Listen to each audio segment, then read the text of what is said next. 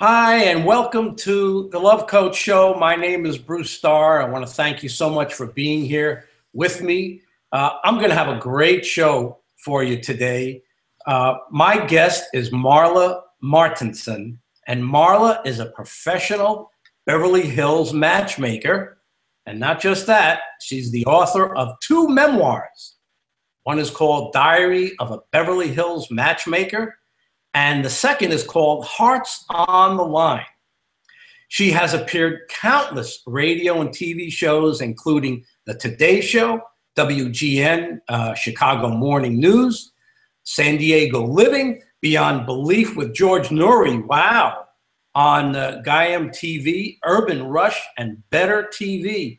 And we're not busy matchmaking or writing, she could be found sipping vanilla soy lattes, getting injected with Botox. Hey, we'll have to talk more about that. And try and trying to get her husband to put the toilet seat down. No, we're going to have to get into some very, very serious discussions about that. So I want to welcome my guest, Laura Martenson. Thank you so much for being on the show. Thanks for having me. Oh yeah, well, okay. The Botox. I am in La La Land. All right, I live out here in LA. I have to try to at least. and you being married, I'm sure you know about that damn toilet seat. It's like a war. Come on, put it down, put the lid down. And my husband says, It's not the seat, it's the lid. I said, Okay. you know, if it's one thing I've learned is nobody has to ask me anymore to put the toilet seat down. I just do it. So I'm well trained. All right. All right. My husband's getting a lot better with that too. It's after so many years, you know. so I really want to find out about you. You know what, Marla? Tell me about you. Tell me even about who Marla was growing up, a, a young child, where you grew up, your education, kind of things that you did in the world that interest you. And then we're going to go to say, how did that end up with you becoming a matchmaker? Let's start with the very beginning. Okay, well, um, and and I did put a lot of it in my memoir, Diary of a Beverly Hills Matchmaker. I talk about how I did that because, and the reason I wrote it is because people are so fascinated, especially years ago when matchmakers weren't that popular. Now it's like they're popping up everywhere. It's very mainstream since reality TV. But when I started, it was like, whoa, you know, I'm at a party and I'm, you're a matchmaker, tell me. And everybody wanted to talk to me. Like, how did you get into it? What, how did, and they still, I'll get emails. How did you become a matchmaker? How can I do it? And it's, it's a job that I never imagined I'd have. I grew up in the suburbs of Seattle, Washington um, a little Gemini, you know, I, I think I came out of my mother's womb tap dancing, you know, whatever. I was always, I mean, I from, you know, started with baton lessons to uh, dance lessons to wanting to be a, a writer to wanting to be the fastest tap dancer in the world. Then I asked my parents when I was in fourth grade to get me a ventriloquist. I wanted to be, you know, Shari Lewis was famous at the time, you know, and with Lamb Chop, oh, I'm going to be a ventriloquist, so, and and then an actress, and then it's like every year I had, a, and then I tried to learn the cello, and that was a disaster. And I took singing lessons, and I tried to do everything right. So I just have so many interests, and even now my husband will say, Marla, do you want to go to the moon too? You know, you don't have time to do everything. And I said, but I have so many interests. So I came down to LA when I was 19 to be a movie star. And I did start doing television commercials, some print modeling. And uh, I was married at the time, had gotten married to my high school sweetheart and eloped. That's another whole story, crazy story. Uh, and I did that for at the actress slash waitress thing for 20 years. And I ended up waitressing more than acting. And at 39, uh, I had lived in Chicago also for, for a time, and I had come back to L- LA because my father was terminally ill and he died. And at 39, I was sitting there, and I said, and I my money was running out. I was doing a little acting, and I said to myself, I cannot put on another waitress apron. I can't. I can't do. It's not my dream. Nothing wrong with it. I still have friends that are in the business, wait, waiting on table. It wasn't my dream. I never felt in my soul happy about it. And so I, but I said, I don't know what else to do. I'm only trained in, you know, acting and uh, the restaurant industry because I'd done everything. I'd even part owned a restaurant and everything. And so I said, God, I and I'm very into the spiritual woo-woo stuff. And I was saying my affirmations, and every day I'd pray, I say, please. And I I used to go to church on my way to work and pray and leave notes and say, God, please get me out of the restaurant business. I don't know what I can do uh, but and I and I want to still act. I just don't know. Please help me. And then I met my now husband, and we were just dating, and he had a a friend who was taking over the management position at a video dating service called Great Expectations, and she said, "Hey, Marla." I'll hire you part time. You can be the videographer, still go on your auditions. And I started doing that, and that was a lot of fun, helping singles. Uh, and I felt like a director doing the video because back then, you know, you'd, we'd videotape them and they'd come in the office and look at it. And then uh, a year and a half after that, I moved on to a Beverly Hills matchmaking firm, thus Diary of a Beverly Hills Matchmaker. That's where the Beverly Hills came in. And I worked there for seven years. Never even, you know, when they asked me to work in the office, I said, I don't work in offices. I'm a, I'm an actor. I, actor. I don't have office skills. They said, no, no, it's okay. And you know, it proved that my people skills, all the acting training, all the training that I've had, was perfect fit for matchmaking because I've got to um, talk to people from all walks of life. I've got to work with all kinds of personalities. I stayed there and I was the head matchmaker, vice president of matchmaking, matching people all over the country. In 2009, that we were in the middle of a recession, nine months into the year there, September, and I had a, a, a me and the owner of that company didn't see eye to eye on a lot of things. I ended up leaving a, a walkout kind of take this job and shove it kind of a thing. And I walked in the door, and my husband, I mean, it was like walk, you know, walking. What do you call it? Walking the dead man walking up to that door. like, oh, he says, Are you out of your mind quitting a job after seven years? A great job in Beverly Hills in the middle of a recession. There's no jobs. What are you going to do? And I said, Well, I don't know, but I had no choice. And I thought, I'm going to quit matchmaking. I can't, you know, I'm sick of it. It's stressful. I'm just burned out. And I was writing uh, the sequel, or I was writing Diary of Beverly Hills Matchmaker. And, uh, you know, I would have had to quit anyway when that came out. So I was trying to get something going. So I started looking on Craigslist for jobs. I thought, gosh, that there's a little chapel, wedding chapel that needs somebody. There's uh, a youth hostel. I speak se- several languages. Nobody would, even for $10 an hour, nobody would hire me. And I was like, my money was running out. And then three months later, guys started calling me, the guys that I had been working with before. And they started saying, hey, I, are you doing anything? They'd look me up, they'd find me, Google me. Uh, I want to work with you. And then I said, oh, and my husband said, start your own business. You know how to do it and I and I was afraid because I was in my late 40s, never owned a business, didn't you know? I thought, God, if somebody complains, what who can I? I can't send them to anybody. I'm gonna have to deal with it, and uh, I did it. I took one client in January, another client in February, another one in March, another one, and they were just rolling in. And it's five years later, five and a half years later, and uh, and I just went. I had a I had a I had a callback for a commercial the other day too. I still once in a while go on a, a, a audition, not that often. I'm writing another book. I have a, a YouTube channel called Conversations with Cupid where I interview experts. Um, oh, and then I became a crystal healer, Reiki practitioner, energy wow. worker. Um, so I'm just like going with my interests. And every day I get up, I'm excited. I, I can't wait to get up. Um, my days are packed, and I but I just I try to pack in as much as I can.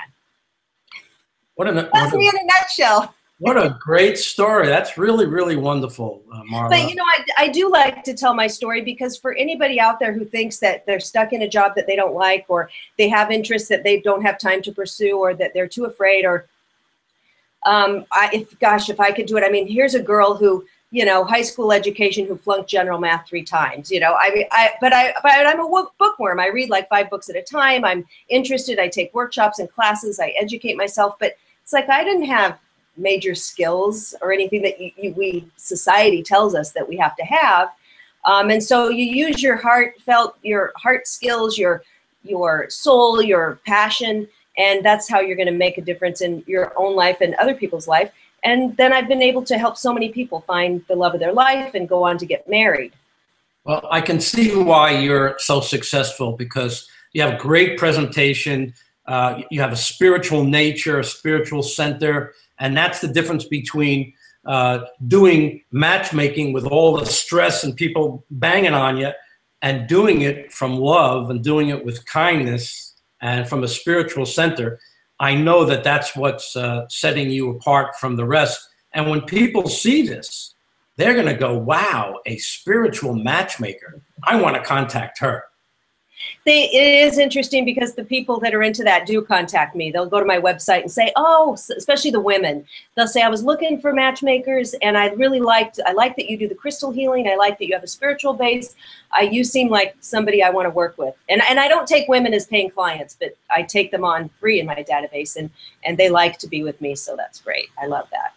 So tell me how your company works now. You just started sort of mentioning it just now. Tell me, uh, you know, the, the, the structure of your company. The structure, um, I've kept it the same as when I was working in Beverly Hills because that's really the model that, that works out here. And I've noticed really nationwide, it's uh, a lot of matchmakers are, are doing this. It's the more affluent men uh, who are super busy. Uh, they have high standards and um, they're, you know, they want a beautiful woman inside and out uh, and so I take the, those as my paying clients. And then the women can join the database for free. Um, they are very particular. I mean, it is it is a stressful job because I've got this pile of you know guys that that are de- demanding and they you know they they want the most beautiful woman and they want her now and and slender, gorgeous, uh, smart, um, and that's you know a small percentage of the population let's face it. What in a, in the united states how many people are overweight or obese now? 60 70% and these guys want super skinny um, so that right there that part is a is a you know i'm searching for that um, and it and it gets comical sometimes i mean even in my even in my book i, I tell one guy because no woman was even thin enough. I mean, I think I matched him with a size two, and he's like, "Yeah, but do you have anyone thinner?" And I teased him. I said, "Yeah, I'm going to start trolling the morgues for a choice corpse for you to meet because I don't have anybody thinner." You know, so the I do get the high maintenance guys, but I love my guys. You know, they're they're great, and uh, it's it's it's challenging. It keeps me on my toes. That's, great. So, how can singles best use uh, a matchmaking service? How would that work for them? okay, you know, this is great because just before this interview, I had have a situation that I'm going to deal with later, and I it gave me an idea that I'm going to make a video for my clients about because, okay, number one, matchmakers are not for everyone. If you, are, because I don't want people wasting their money, and some of the matchmaking services do take on women, and especially for the women, um, if you have some weight to i mean don't get mad at me don't email me hate mail but if you have some weight to to get off of you if you have some uh, relationship issues from your last relationship to deal with if you're you know financially a ruin or uh, don't waste your money now. Get yourself together because the guys that are coming to a matchmaker, paying a lot of money, expect a lot. I mean, they literally they'll tell me, Marla, I don't want to meet. I can meet an average-looking woman or an overweight woman at Starbucks. I don't need to pay you ten thousand or twenty thousand dollars to meet a lady like that. So everybody who's paying and going somewhere, they're like putting their major wish list and hoping for, you know, the women want George Clooney six feet tall, the men want Heidi Klum and there are you know um, expectations to manage and people do get a little out of reality. But but i want to say that you know they'll it's just not worth wasting your money. So get yourself together first. Are you somebody that you would want to meet? You want to be who you would want to meet. You can't ask to meet you know somebody a, a greek god if you you know have some work to do on yourself. So be your best you. Like yourself be happy in your life and then you know go do that. Otherwise you can go online or do some other things. But and i and i'm always for that whether you're in a relationship or not. Um, i'm always working on myself. I think it's very important.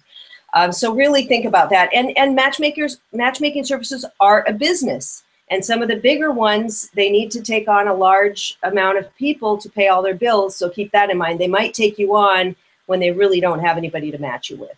So i'm just super honest. I have the luxury of working from home I don't have a over a big overhead, and I can turn down people if I don't feel I can help them. You know, I'm not going to starve, so I don't have to just take on anybody. Um, second, a client uh, emailed me this morning, and he's kind of like. Um, sometimes they'll just kind of be cracking the whip, you know, hey, you know, my contract says two a month and I'm I had two last month, but we're you know, not on track this month and don't you have recruiters down here? And and and you know i'm getting these emails all the time. You've got to realize when you go to a matchmaker it's not like ordering a car or a sofa or you know have a wine of the month club where you're getting those two wines a month in the mailbox. We have to search uh, usually your criteria is you know this list and if you can get up in the morning and just like if he would and i'm going to tell him this if he could get up and like say okay you know god universe you know buddha whatever energy field can you send a lot of white light to marla today so that she can be best assisted by the universe to help me find my soulmate?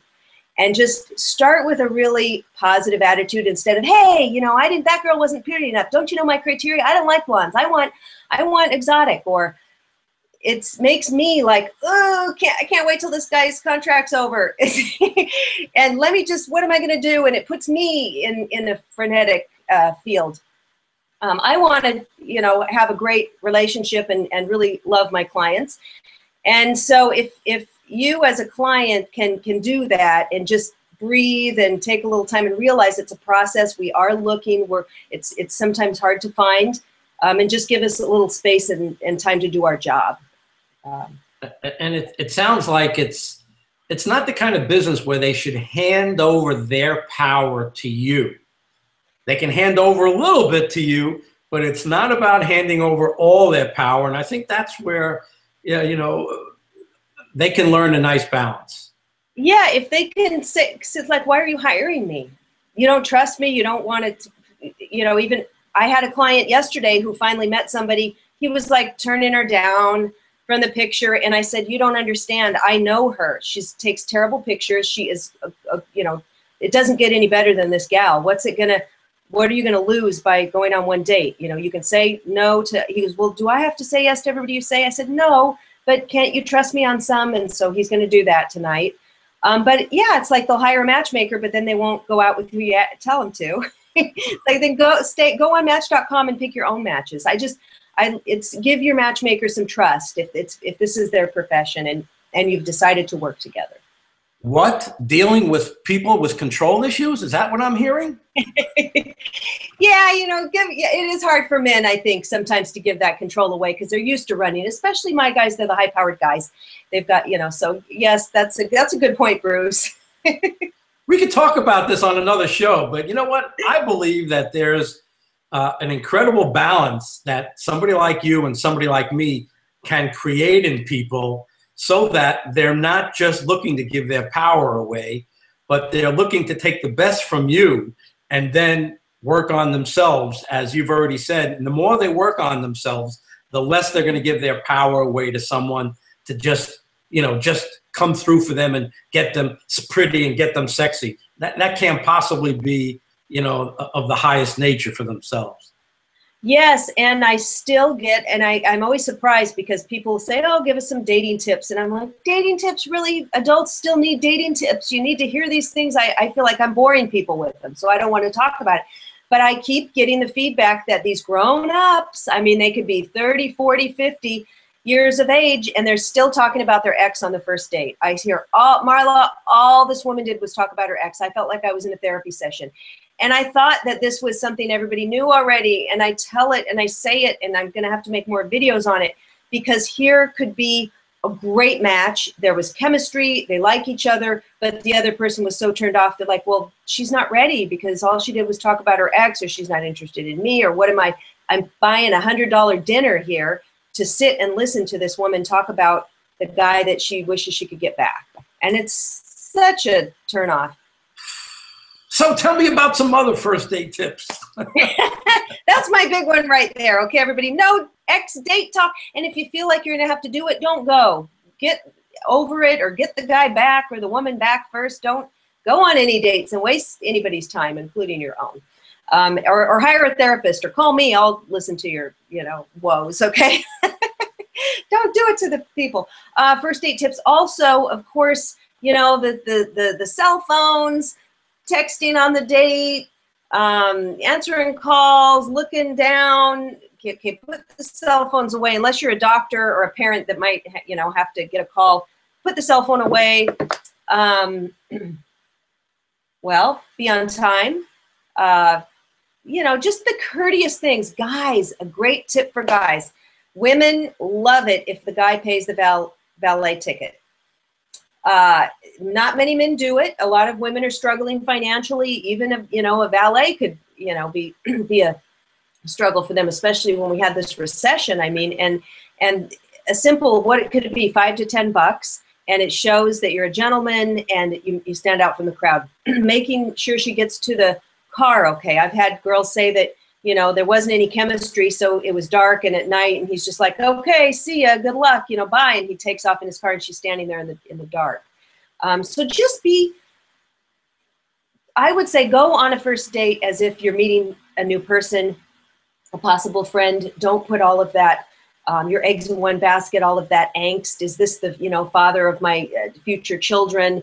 Uh, is this the one? Is this my soulmate? Oh my God. Just go on it as, hey, you know what? What are you about? What am I about? Let's have a great time and then see if any, anything develops. That's, that's the, I think the best way. It takes the pressure off. That's great. Wonderful, wonderful advice. Uh, so now, when should someone decide, hmm, I think I need a matchmaker. And part two of that question is once they decide they need one, I'm sure there's a 101 different kinds of matchmakers. How do they figure out for themselves? How do they decide on the best matchmaker for them? Well, you you know you you can be ready for a matchmaker if maybe you're new to town, um, you're divorced, you haven't met anybody in a long time, maybe you're super busy and you don't want to go out to a bar or sit online. You want somebody to do that work for you. Um, you have the money to spend on it because it can be expensive, thousands of dollars, and you want to, and there's no guarantee um, that we will find you the right person. And a lot of times it's not us, it's it's you. You know, we can't predict chemistry, uh, or if you're too picky, you have too long of a list, or whatever. Uh, we do our best, but we cannot unfortunately guarantee that you're going to get a relationship. So you've got to have that disposable income that you're willing to risk to lose in case it doesn't work out. Uh, and then pick, you know, meet with the matchmakers. There, there are big matchmaking companies that take on a lot of people. They're more like dating services. There's small boutique matchmakers like myself. Uh, I work with the high-end guys. So are you going to fit in to what they're looking for? you know, ask, do you take on mostly women as paying clients, men as paying clients? Uh, the ones that take on a lot of women paying clients, often they don't have enough uh, men, you know, for the women. So you want to ask and ask some other people who have used the service. Um, oh, and I will say, you know, this uh, industry does attract a lot. It's there's a lot of emotion to it, all right, and a lot of people will get upset if they don't meet someone. Um, there's a small amount of people who have, you know, emotional issues, bipolar, uh, mental issues, and we find that out later. Uh, we usually have a small percentage of that, and, and it's hard to deal with. And they'll get angry, and I'll get texts late at night, like, you know, where's my match? And uh, one guy texted me, "Oh, if I was a matchmaker, I if I, I if I were you, I'd be ashamed to call myself a matchmaker." And then threatening uh, lawsuits, uh, putting bad reviews online. Um, so I think probably every matchmaker has at least one negative review. So don't always go by the negative reviews uh, because people are, are emotional. Maybe it was them that the reason they didn't get into a relationship and they'll go and rant. And you know how the internet is now. So, so I would say go with your heart and your gut about that certain matchmaker that you meet with. And uh, you can maybe talk to some people that they've worked with. But uh, yeah, do your homework and go with your gut. That's great. I, I, learned a lot about your business. Uh, so let's do this. Show either your book or books once more. And where, where, can people find your book? Amazon.com. I've got uh, Diary of a Beverly Hills Matchmaker. Hearts on the Line is the sequel. And then I have a short story called Amateur Night, which is super fun about a fateful Valentine's night when I was waiting on tables. and you can get that on Amazon. Or if you go to my website, marlamartenson.com, uh, M-A-R-L-A, M-A-R-T-E-N-S-O-N, and you can sign up for my newsletter and get Amateur Night for free. Um, and my uh, interview series on uh, called Conversations with Cupid on YouTube is always fun. And I've just got a lot. If you go to my website, everything's there. There's a lot of fun stuff. And I love hearing from people. If you have any questions, you know, ask it in the comments, you know, under this interview or email me and I'll be glad to, to uh, talk to you. Well, I'm really glad that I uh, that you came on the show and we got to know each other, and the folks out there will see this uh, video for a long time to come. And uh, I think you'd be the, the perfect lady to work with if uh, people are coming from a spiritual center as well as those, you know, uh, uh, top executives that you already have working with you. So I wish you all the best of luck, continued success, and I look forward to connecting with you here once again. Thank you so much for being on the show. Thank you, Bruce. Bye. Bye, everybody.